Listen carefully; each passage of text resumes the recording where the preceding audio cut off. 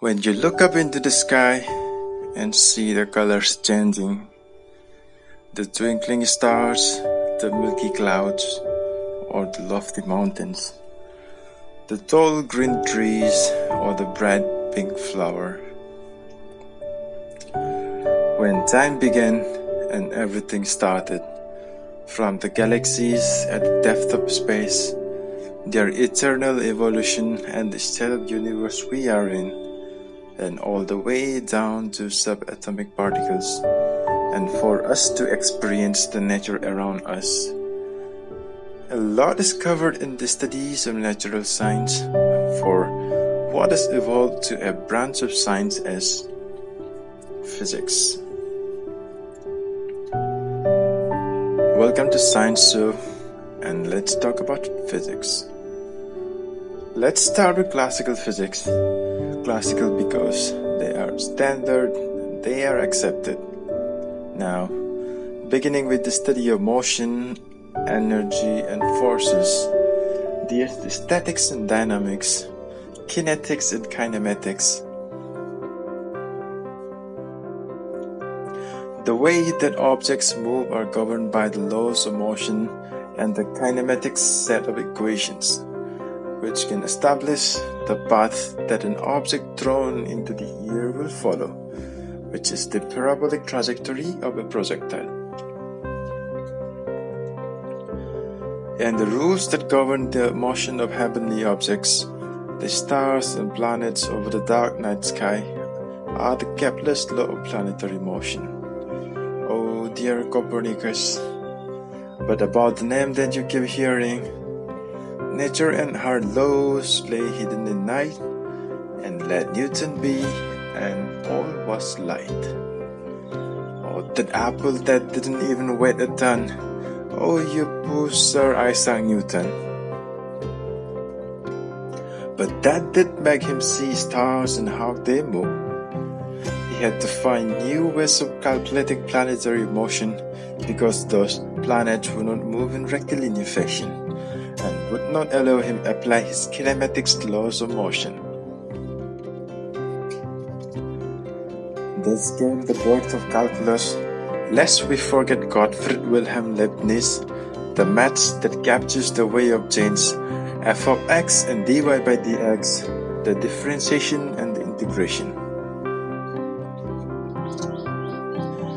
Diving deep a little is the classical mechanics built upon Newton's laws it studies properties and motion of solid objects.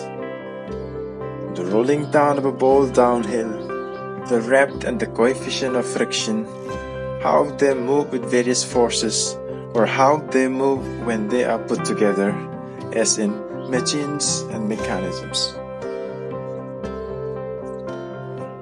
These the fluid mechanics because they will not withstand a mere shear stress and they will not be treated as solids, of how fluids would flow over and across various shapes and sizes, complementary from Jacob Bernoulli and his Here with Edis.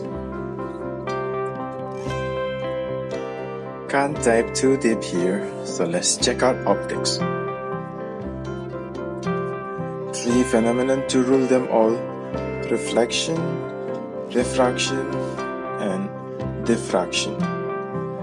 The beautiful colors that you and I see, and the distant stars and planets that we have been trying to see. The electrifying and magnifying beauty of electromagnetism, of how they will turn out to be the faces of the coin, and Sir with the mighty beard that got it all figured out, who told the electric field and magnetic field to kiss is Maxwell. James Clerk Maxwell. This goes back to optics with the eventual realization that light is an electromagnetic radiation and possesses its dual nature of both particle and radiation. Can't know them all if you don't know what made them all. For we got them transverse waves or we got them longitudinal waves and the subject of thermodynamics, the energy that is involved in all this physics, the heat, temperature, energy, and how we could define enthalpy or entropy.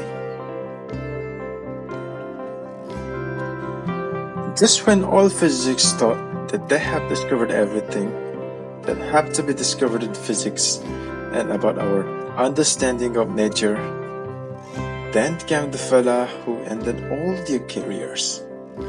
For that is the topic of relativity, Sir Albert Einstein and his special theory of relativity. And perhaps the most widely known equation, E equals mc square, or the wonderful concept of how space and time are bound, which gave us beautiful science fiction movies to watch today.